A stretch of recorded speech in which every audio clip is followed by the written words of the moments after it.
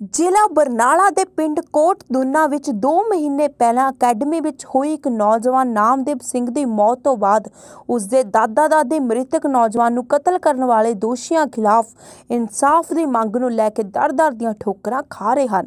ਮ੍ਰਿਤਕ ਨੌਜਵਾਨ ਦੇ ਦਾਦਾ ਦਾਦੀ ਨੇ ਅਕੈਡਮੀ ਦੇ ਕੁਝ ਵਿਅਕਤੀਆਂ ਤੇ ਗੰਭੀਰ ਦੋਸ਼ ਲਾ ਕੇ ਕਿਹਾ ਕਿ ਅਕੈਡਮੀ ਦੇ ਵਿਅਕਤੀਆਂ ਤੇ ਵੱਲੋਂ ਪਹਿਲਾਂ ਵੀ ਉਹਨਾਂ ਦੇ ਬੱਚੇ ਨੂੰ ਤੰਗ ਪਰੇਸ਼ਾਨ ਕੀਤਾ ਜਾ ਰਿਹਾ ਸੀ। ਮੌਤ ਤੋਂ ਬਾਅਦ ਪਹਿਲਾਂ ਇਹਨਾਂ ਵਿਅਕਤੀਆਂ ਨੇ ਜਾਨੋਂ ਮਾਰਨ ਦੀ ਧਮਕੀ ਵੀ ਦਿੱਤੀ ਸੀ।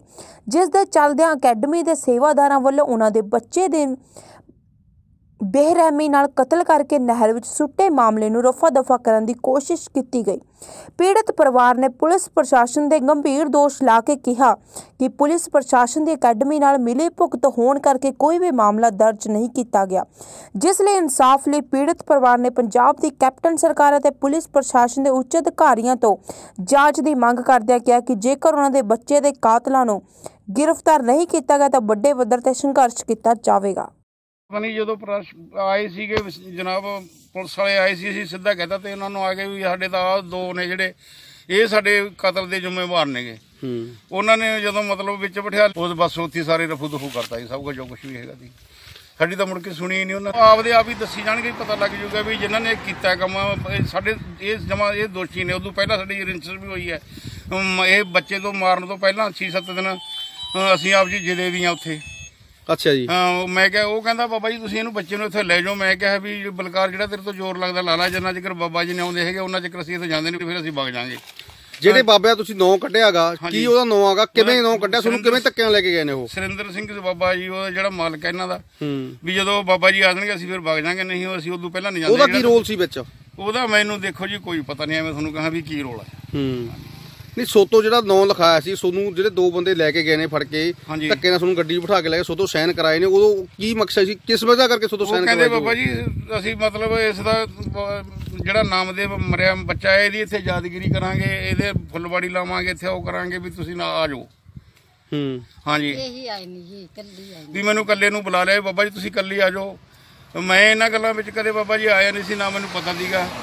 ਮੈਂ ਉਹਨਾਂ ਨਾਲ ਆ ਕੇ ਜਿਵੇਂ ਉਹਨਾਂ ਨੇ ਕਿਹਾ ਚਾਰ ਇੱਟਾਂ ਫੜਾਦੀਆਂ ਨਾਲੇ ਬੂਟੇ ਲਾਤੇ। ਮੈਨੂੰ ਇਸ ਗੱਲ ਦਾ ਪਤਾ ਨਹੀਂ ਸੀ। ਕਹਿੰਦੇ, ਬਾਬਾ ਜੀ, ਤੁਹਾਨੂੰ ਉੱਥੇ ਡਿਊਟੀ ਨੇ ਬੁਲਾਇਆ, ਉੱਥੇ ਲੈ ਗਏ, ਮੈਨੂੰ ਉੱਥੇ ਕੁਝ ਨਹੀਂ ਪੁੱਛਿਆ। ਲਿਆ ਕੇ ਬਿਠਾ ਕੇ ਉੱਥੇ ਬਰਨਾਲੇ ਮੋੜਤਾ ਮੈਨੂੰ ਅੱਧੇ ਘੰਟੇ 'ਚ। ਉਹਨਾਂ ਨੇ ਇੱਕ ਤੁਹਾਡਾ ਜਿਹੜਾ ਸਮਝੌਤਾ ਪੇਸ਼ ਕੀਤਾ ਡੀਐਸਪੀ ਕੋਲੇ ਪਹਿਲਾਂ ਕੀਤਾ ਸੀਗਾ ਵੀ ਸਾਡਾ ਜਿਹੜਾ ਬਾਬੇ ਨਾਲ ਕੰਪਰੋਮਾਈਜ਼ ਹੋ ਚੁੱਕਿਆਗਾ ਹਾਂਜੀ। ਉਹ ਜਿਹੜਾ ਤੁਸੀਂ ਸਾਈਨ ਕੀਤੇ ਹੋਣਗੇ ਕੀ ਉਹ ਬਾਕੀ ਛੋਟਾ ਕੰਪਰੋਮਾਈਜ਼ ਹੋ ਚੁੱਕਿਆ ਜਾਂ ਧੱਕੇ ਨਾਲ ਨੇ ਸਾਈਨ ਕਰਵਾਏ ਗਏ ਨੇ? ਗੱਲ ਪੁੱਛੀ ਤੀ ਜੀ ਵੀ ਬਾਬਾ ਜੀ ਨਾਲ ਤੇਰਾ ਕੋਈ ਮਤਲਬ ਸ਼ੱਕ ਸੁਭਾ ਮੈਂ ਕਿਹਾ ਜੀ ਬਾਬਾ ਜੀ ਮੈਨੂੰ ਬਾਬਾ ਜੀ ਤੇ ਕੋਈ ਸ਼ੱਕ ਸੁਭਾ ਨਹੀਂ। ਮੇਰੇ ਤਾਂ ਇਹ ਜਿਹੜੇ ਦੋ ਦੋਸ਼ੀ ਨੇ ਇਹਨਾਂ ਨੇ ਮਾਰਿਆ। ਮਾਰਿਆ ਵੀ ਇਹਨਾਂ ਨੇ ਮੈਂ ਨੌ ਵੀ ਇਹਨਾਂ ਦੇ ਲਿਆ ਉੱਥੇ ਵੀ ਇਹੀ ਲਿਆ ਸੀਗਾ ਹੁਣ ਵੀ ਇਹੀ ਕਹਿੰਦਾ। ਕੀ ਇਹ ਪ੍ਰਬੰਧਕ ਨੇ ਜਿਹੜੀ ਸੰਸਥਾ ਦੇ? ਹਾਂਜੀ। ਬਾਬਾ ਫੌਜਾ ਸਿੰਘ। ਹਾਂਜੀ। ਤੁਸੀਂ ਉਹਨੂੰ ਉਹਨਾਂ ਨੂੰ ਦੋਸ਼ੀ ਨਹੀਂ ਮੰਨਦੇ? ਅਸੀਂ ਉਹਨਾਂ ਨੂੰ ਦੋਸ਼ੀ ਐ ਮੰਨਦੇ ਆ ਜੀ ਵੀ ਜਦੋਂ ਹੁਣ ਉਹਨਾਂ ਨੂੰ ਲੁਕਾਉਂਦੇ ਕਿਉਂ ਨੇਗੇ? ਉਹਨਾਂ ਨੂੰ ਸਾਹਮਣੇ ਕਰਨ। ਉਹਨਾਂ ਦੇ ਸਾਹਮਣੇ ਕਰਨਾ ਆਏ ਮੰਨਦੇ ਆ ਜੀ ਦੱਸੀ ਦਿਲ ਕੋਣ ਸੀ ਅਕੈਡਮੀ ਦੇ ਵਿੱਚ ਗਰੀਬ ਪਰਿਵਾਰ ਨੇ ਪੜਨ ਵਾਸਤੇ ਛੱਡਿਆ ਹੋਇਆ ਸੀ। ਹੂੰ। ਸਿਰਫ ਇਸ ਕਰਕੇ ਵੀ ਉਹ ਪਰਿਵਾਰ ਗਰੀਬ ਸੀਗਾ। ਪਰ ਜਿਹੜੇ ਇੱਥੇ ਸੇਵਾਦਾਰ ਮੁੱਖ ਸੀਗੇ ਬਾਬਾ ਫੌਜਾ ਜੀ ਉਹਨੇ ਗਾਹਾਂ ਹੋਰ ਸੇਵਾਦਾਰ ਰੱਖੇ ਹੋਏ ਸੀ। ਆਪ ਉਹ ਬਾਹਰ ਰਹਿੰਦਾ ਸੀਗਾ। ਲੇਕਿਨ ਦੇਖ ਰੇਖ ਸਾਰੀ ਸੰਸਥਾ ਦੀ ਬਾਬਾ ਫੌਜਾ ਦੀ ਸੀਗੀ।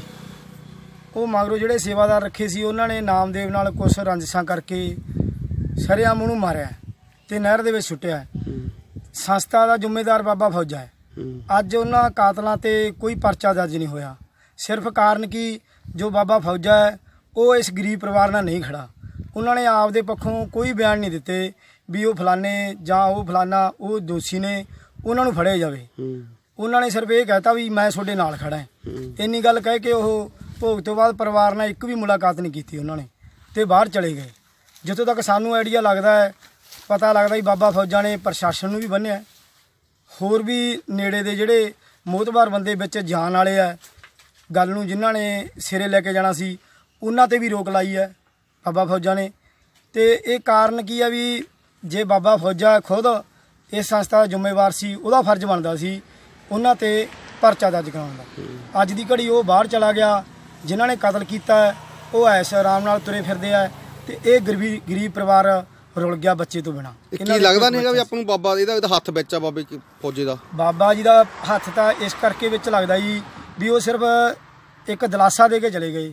ਉਹਨਾਂ ਨੇ ਕੀਤਾ ਕੁਝ ਨਹੀਂ। ਕੋਈ ਬਿਆਨ ਨਹੀਂ ਦਿੱਤਾ ਕੋਈ ਗਰੀਬ ਪਰਿਵਾਰ ਨਾਲ ਜਾ ਕੇ ਕਿਸੇ ਅਫਸਰ ਨੂੰ ਨਹੀਂ ਮਿਲੇ ਜਾਂ ਕੋਈ ਆਪਦੇ ਵੱਲੋਂ ਕਾਰਵਾਈ ਨਹੀਂ ਕਰਾਈ। ਇੱਕ ਇਹ ਵੀ ਮਾਮਲਾ ਸਾਹਮਣੇ ਆਇਆ ਹੈਗਾ ਵੀ ਜਿਹੜਾ ਇਹ- ਇਹਨੂੰ ਜਿਹੜਾ ਲੜਕੇ ਦੇ ਨਾਨਾ ਜੀ ਨੂੰ ਲਿਜਾਇਆ ਗਿਆ ਉਥੋਂ ਬਾਬੇ ਦੇ ਪਤਾ ਨਾਂ ਵਿੱਚ ਲਿਖਿਆ ਹੋਇਆ ਸੀ ਦਰਖਾਸਤ ਦੇ ਵਿੱਚ ਜਦੋਂ ਬੱਚੇ ਦੀ ਡੈੱਡ ਬੋਡੀ ਮਿਲੀ ਆ ਗਈ ਉਹਦਾ ਵਿੱਚ ਨਾਂ ਲਿਖਿਆ ਜੀ ਉੱਥੇ ਇਹਨੂੰ ਟਿਕਾਇਆ ਗਿਆਗਾ ਧੱਕੇ ਨਾਲ ਜਿਹੜਾ ਸਾਈਨ ਕਰਵਾਏ ਗਏ ਨੇ ਇਹ ਗੱਲ ਸੱਚ ਆ ਗਈ ਬਿਲਕੁਲ ਵੀ ਇਹ? ਇਹ ਸੱਚ ਹੈ ਜੀ ਵੇਖੋ ਇਹ ਗਰੀਬ ਪਰਿਵਾਰ ਆ ਇਹ ਲੰਮੇ ਸਮੇਂ ਤੋਂ ਇੱਥੇ ਡਾਲੀ ਦੀ ਸੇਵਾ ਕਰਦਾ ਸੀ ਬੱਚਾ ਫ੍ਰੀ ਪੜਦਾ ਸੀ।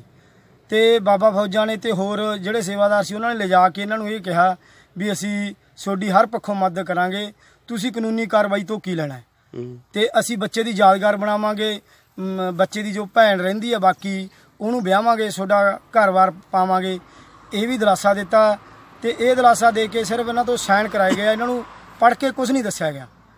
ਉਹਨਾਂ ਨੇ ਅੰਦਰ ਖਾਤੇ ਇੱਕ ਸਮਝੌਤੇ ਦੇ ਸਾਈਨ ਕਰਾ ਲਏ। ਇਹ ਗਰੀਬ ਪਰਿਵਾਰ ਸੀ ਅਨਪੜ੍ਹ ਪਰਿਵਾਰ ਸੀ ਤੇ ਉਹ ਆਪਦੀ ਬਚਤ ਕਰਕੇ ਬਾਹਰ ਚਲੇ ਗਏ ਇਹ ਬਾਬੇ ਦਾ ਬੱਚਾ ਨਾਂ ਉਹਦੇ ਉਹਦੇ ਵਿੱਚ ਇਹ ਬਾਬਾ ਜੀ ਦਾ ਨਾਂ ਜਿਹੜੀ ਇਹਨਾਂ ਨੇ ਕੱਚੀ ਦਰਖਾਸਤ ਦਿੱਤੀ ਸੀਗੀ ਹੱਥ ਲਿਖਤੇ ਵਿੱਚ ਸ਼ਾਇਦ ਉਹਦੇ ਵਿੱਚ ਬਾਬਾ ਫੌਜਾ ਦਾ ਨਾਂ ਸੀ।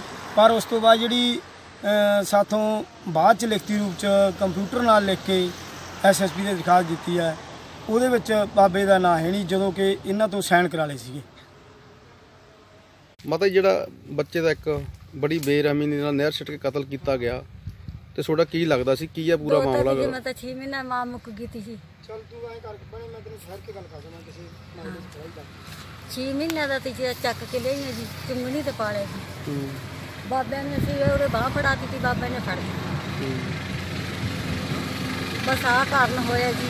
ਹੁਣ ਬਾਬਿਆਂ ਨੂੰ ਅਸੀਂ ਇਹ ਕਹਿੰਦੇ ਕਿ ਬਾਬਾ ਜੀ ਦੇ ਕੋਈ ਦੋਸ਼ ਨਹੀਂ ਲਾਉਂਦੇ ਜਿਹੜਾ ਦੋਸ਼ੀ ਨੇ ਉਹਨਾਂ ਨੂੰ ਤੁਸੀਂ ਕਿਉਂ ਲਗਾਉਣੇ ਹੋ? ਉਹਨਾਂ ਨੂੰ ਮੂਹਰੇ ਕਰੋ। ਹੂੰ ਵੀ ਉਹਨਾਂ ਨੂੰ ਤੁਸੀਂ ਚੁਕਾ ਸਕਦੇ ਹੋ ਬਾਬਾ ਜੀ। ਹੂੰ ਕੀ ਲੱਗਦਾ ਬਾਬੇ ਦਾ ਇਹਦਾ ਮਤਲਬ ਹੱਥ ਹੈਗਾ ਵਿੱਚ ਬਾਬੇ ਦਾ? ਵਾ ਆਪਾਂ ਇਹ ਨਹੀਂ ਕਹਿ ਸਕਦੇ। ਜੀ ਹੂੰ। ਕਿਉਂ ਬਾਬਾ ਜਦੋਂ ਉਹ ਹੈ ਹੀ ਨਹੀਂ ਤੇ ਗੈਰ ਹਾਜ਼ਰ ਤੇ। ਕਹਿਣਾ ਵੀ ਬਹੁਤ ਔਖਾ ਬਾਬਾ ਕਹਿਣਾ ਵੀ ਔਖਾ ਹੈ।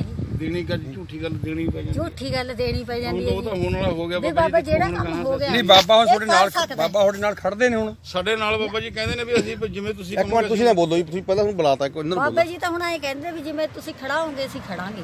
ਹੂੰ। ਖੜਦੇ ਨਾਲ ਪਰ ਉਹ? ਨਾ ਜੀ ਕੋਈ ਖੜੇ ਨਹੀਂ ਜੀ ਸਾਨੂੰ। ਜਿਹੜਾ ਕੋਟ ਦੋਨੇ ਗੁਰਦੁਆਰਾ ਸਾਹਿਬ 'ਚ ਹੋਰ ਵੀ ਬੱਚੇ ਪੜ੍ਹਦੇ ਨੇ, ਉੱਥੇ ਰਹਿੰਦਾ ਸੀ, ਪੜ੍ਹਾਈ ਕਰਦਾ ਸੀਗਾ। ਇਹਦੀ ਮਤਲਬ ਨਹਿਰ 'ਚ ਡੁੱਬਣ ਨਾਲ ਡੈਥ ਹੋ ਗਈ ਸੀਗੀ।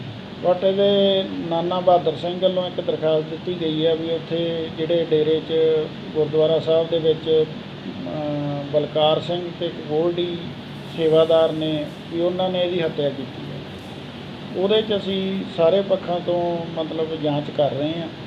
ਜਾਂਚ 'ਚ ਜੋ ਵੀ ਗੱਲ ਸਾਹਮਣੇ ਆਊਗੀ, ਉਹਦੇ ਮੁਤਾਬਕ ਕਾਰਵਾਈ ਕੀਤੀ